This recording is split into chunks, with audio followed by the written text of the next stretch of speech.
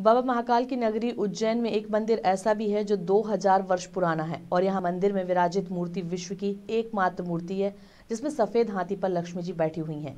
उज्जैन की नई पीठ में स्थित लक्ष्मी माता का यह मंदिर गज लक्ष्मी माता मंदिर के नाम से प्रसिद्ध है। इस मंदिर में भक्तों का तांता लगा ही रहता है। गजलक्ष्मी मंदिर में दीपावली पर्व पर चार दिवसीय आयोजन किया जाता है और यहाँ धनतेरस से पड़वा तक श्रद्धालुओं का तांता लगा रहता है। इस वर्ष भी श्रद्धालुओं का माता के दर्शन करने पहुँच रहे हैं। यहाँ धनतेरस से चार दिन तक विशेष पूजन अर्चन किया जा रहा है।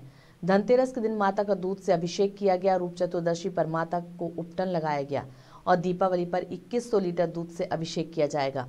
सफ़ेद हाथी पर विराजी माता लक्ष्मी की यह मूर्ति देखते ही बनती है।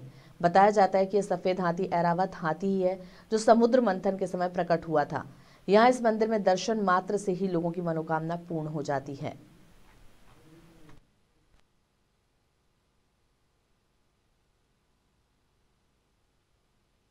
ये माता गजलक्ष्मी का अनूठा मंदिर पूरे देश में एकमात्र मंदिर है। जो उज्जैन में नई पेट में स्थित है, जो नगर का मध्य क्षेत्र है ये और मंदिर के बाहर चारों तरफ़ सराफा बाज़ार है। ये गज लक्ष्मी की जो मूर्ति है, राजा विक्रमादित्य के राज्य लक्ष्मी के लिए। इनका वर्णन स्कंद पुराण में चौबीस महादेवी में महादेवी में जो आता है, मुख्य रूप से गजलक्ष्मी नगर के मध्य में विराजमान है।